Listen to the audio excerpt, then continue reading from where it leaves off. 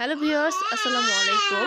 আমরা আজকে কীভাবে পিএমইউ লাইন এবং হচ্ছে সিরিঞ্জ পাম্পে সিরিঞ্জ সেট করতে হয় সেটি দেখাবো। প্রথমে পিএমইউ লাইন এই অংশটা নিয়ে সিরিঞ্জ পাম্পের মাথায় লাগাতে হবে এবং এই অংশটা রোগীর ক্যানোলার সাথে লাগাতে হবে।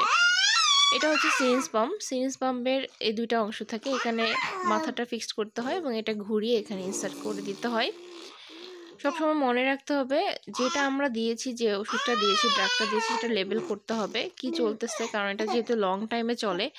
তো সেই ক্ষেত্রে লেবেলিংটা বাহিরের দিকে রাখতে হবে। তো আপনারা হয়তো দেখেছেন যে কীভাবে কোন বাটনটা দিয়ে এটাকে অন করতে হচ্ছে। এই যে এখানে তীর চিহ্নতে দেখানো হচ্ছে ওই হলুদ বাটনটাতে অন করা হচ্ছে। এখন এখানে এসি লস দেখাচ্ছে কারণ ইলেকট্রিক লাইনটা নেই। ইলেকট্রিক লাইন দিলে এটা চলে যাবে।